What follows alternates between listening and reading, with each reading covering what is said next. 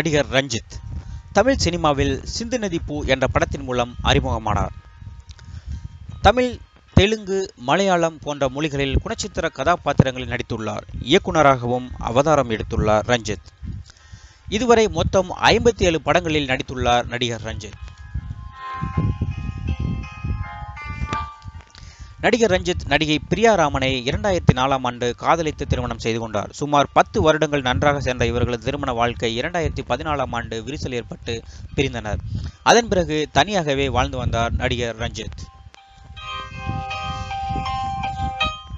அதன் பிறகு நடிகர் ரஞ்சித் நடிகை ராகசுதாவை இரண்டாயிரத்தி பதினாறாம் ஆண்டு திருமணம் செய்து கொண்டார். நடிகர் ரஞ்சித்திற்கு இரண்டு குழந்தைகள் உள்ளனர்.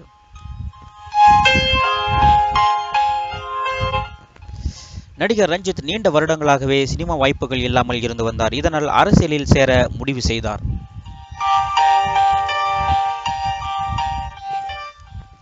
இதனால் சென்ற வருடம் டாக்டர் ராமதாஸ் அவர்களின் தலைமையிலான பாமக கட்சியில் சேர்ந்தார்.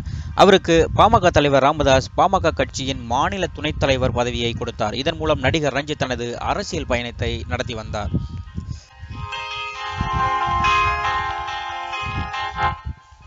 இந்நிலையில் கடந்த மூன்று வருடங்களாக அதிமுக அரசின் கொடுமைகளை விமர்சித்து வந்த பாமக கட்சியின் தலைவர் ராமதாஸ் திடீரென்று சென்ற வாரம் அதிமுகவுடன் கூட்டணி வைத்துக் கொண்டார்.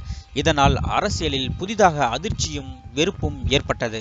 இந்த கூட்டணி மக் மக்கள் யாருக்கும் பிடிக்கவில்லை. மாறாக பொதுமக்கள் அனைவரும் சமூக வலைதளங்களில் பாமக கட்சியையும் அதன் தலைவர் ராமதாஸ் மற்றும் அன்புமணியையும் வரிசை வரிசையாக கிண்டலடித்து தங்களுடைய எதிர்ப்புகளை பதிவிட்டு வந்தனர்.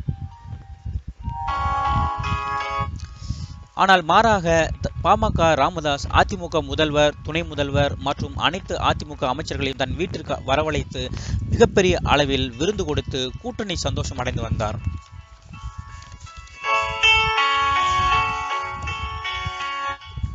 இதனால் ஏற்கனவே மரண கடுப்பில் இருந்த திமுக கட்சியின் தலைவரான திரு மு ஸ்டாலின் பாமக கட்சியையும் அதன் தலைவர் ராமதாஸ் மற்றும் அன்புமணியையும் வெட்கம் இல்லையா மானம் இல்லையா சூடு இல்லையா சொரணை இல்லையா என்று அசிங்க அசிங்கமாக விமர்சித்தார். இதனால் ஒட்டுமொத்த மீடியாவும் ஸ்டாலினின் இந்த பேச்சை வெளியிட்டு வந்தனர்.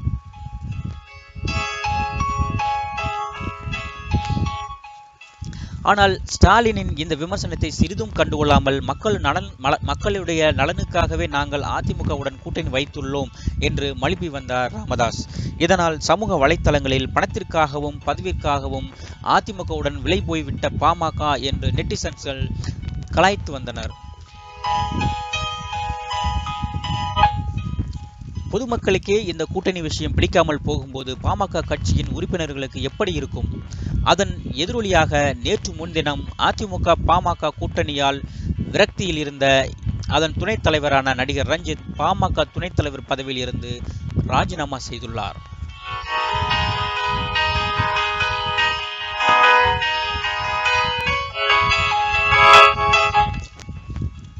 கோயமுத்தூர் வந்திருந்த நடிகர் ரஞ்சித் மாலை செய்தியாளர்களுக்கு பேட்டியளித்தார். அதில் பாமக ராமதாஸை கடுமையாக விமர்சித்தார். திமுக தலைவர் ஸ்டாலினை விட மிக மிக கடுமையாக விமர்சித்தார்.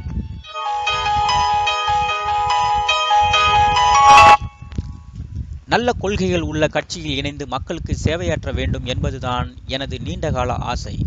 அந்த வகையில்தான் நான் பாமகவின் கொள்கைகள் மற்றும் செயல்பாடுகளை பார்த்து அந்த கட்சியில் இணைந்தேன். இதனால் எனக்கு பெரிய பதவியான பாமக கட்சியின் மாநில துணைத் தலைவர் பதவியை கொடுத்தார் ராமதாஸ். மதுவை எதிர்த்து நடத்திய போராட்டங்கள் கல்விக்கான போராட்டங்கள் போன்றவை பாமகவிடம் எனக்கு மிகவும் பிடித்திருந்தது. ஆனால் ஒரு நொடி பொழுதில் எனது கனவுகள் அனைத்தும் தவிடுபொடியாகிவிட்டது இதனால் மனதளவில் நான் மிகவும் வேதனை அடைந்தேன். எனவே மாநில துணைத் தலைவர் பதவி மட்டுமன்றி பாமகவின் அடிப்படை உறுப்பினர் பதவியில் இருந்தும் விலகிக் கொள்ள நான் முடிவெடுத்தேன்.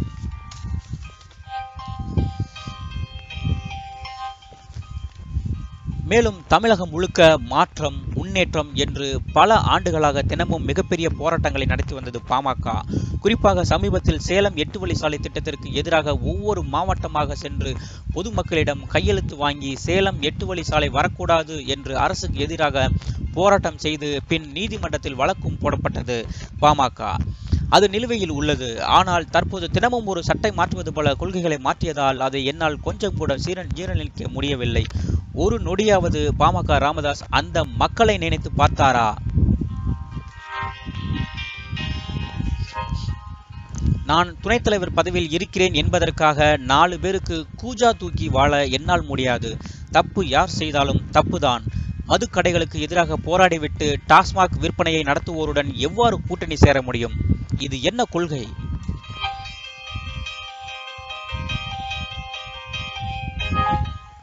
அமைச்சர் விஜயபாஸ்கர் மீதான குட்கா ஊழல் மற்றும் பல அமைச்சர்கள் மீது ஊழல் புகாரை ஆளுநரிடம் கொடுத்து அந்த வழக்கும் தற்போது நிலுவையில் உள்ளது. மேலும் முதல்வரையும் அமைச்சர்களையும் மிக மோசமான வார்த்தைகளில் தினமும் விமர்சனம் செய்துவிட்டு அதுவும் இரண்டு வாரம் அல்லது ஒரு மாதம் முன்பு வரை மோசமாக பேசிவிட்டு இப்போது கூட்டணி வைத்திருப்பது எந்த விதத்தில் நியாயம்?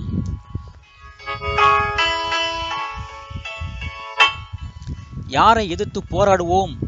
என்று கூறினோமோ அவர்கள் காலையை கட்டிப்பிடித்து ஒன்றாக உட்கார்ந்து சாப்பிடுவதை என்னால் ஜீரணிக்கவே முடியாது. அப்படிப்பட்ட ஒரு கீழ்த்தரமான அரசியல் எனக்கு தேவையில்லை. இது என்னுடைய மனதிற்கு கஷ்டத்தை கொடுக்கிறது. எனது மனம் வெதும்பி நான் கட்சியை விட்டு வெளியேறுகிறேன். இவ்வாறு ஆவேசத்தோடு பேசி முடித்தார் நடிகர் ரஞ்சித்.